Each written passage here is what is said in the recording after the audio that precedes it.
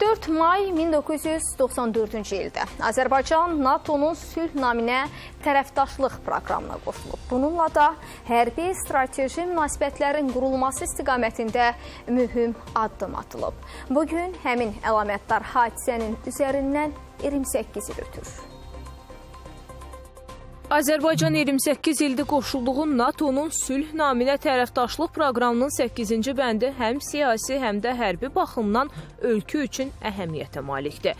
Proqrama əsasən hansı fəal iştirakçının ərazi bütövlüyünə, siyasi müstəqilliyinə qarşı birbaşa təhlükə yarandığı halda NATO məsləhətləşmə keçirəcək.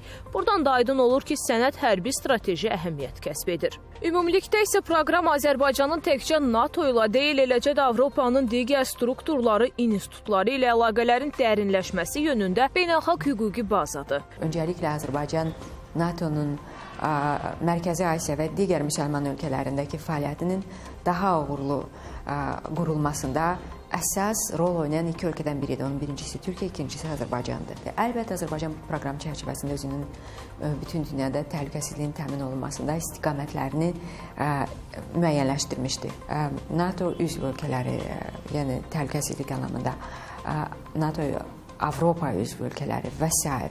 onların hamısı ilə iki tərəfli münasibətlərin qurulmasında NATO ilə Azərbaycan münasibətlərinin ilkin illərindəki bu əməkdaşlığının çox böyük rolu olub. Sülh naminə tərəfdaşlıq proqramı ordu quruculuğu sahəsində də öz müsbət təsirini göstərib. 1997-ci ildə hərbi təhsil sistemində əsaslı dəyişiklik edilərək kursantlarımız Şimali Atlantika Alyansına daxil olan ölkələrdə hərbi bilik və təcrübəyə yiyələnməyə başladılar. Sonradan bu proqram çərçivəsində əlaqələr yüksələn xətlə inkişaf etdi. İlk əməkdaşlıq Azərbaycan sülh məramlarının Kosovadakı əməliyyatlara qatılması ilə başlayıb, növbəti mərhələdə İraq və Əfqanistana sülh məramların göndərilməsi ilə davam etdirildi.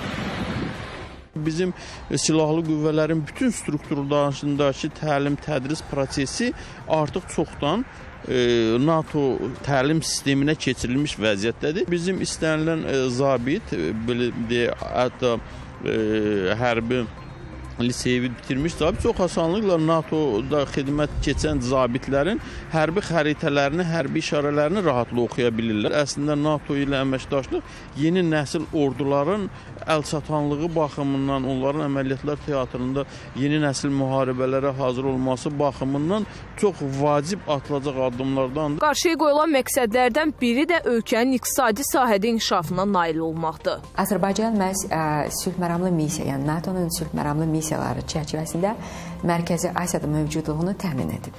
Mərkəzi Asiyanın daha sonra enerji və mineral resurslarının Avropaya daşınması istiqamətində ilkin ə, imkanlar məhz Azərbaycanın NATO əməkdaşlıq çərçivəsində Mərkəzi Asiyaya getməsindən sonra baş verib.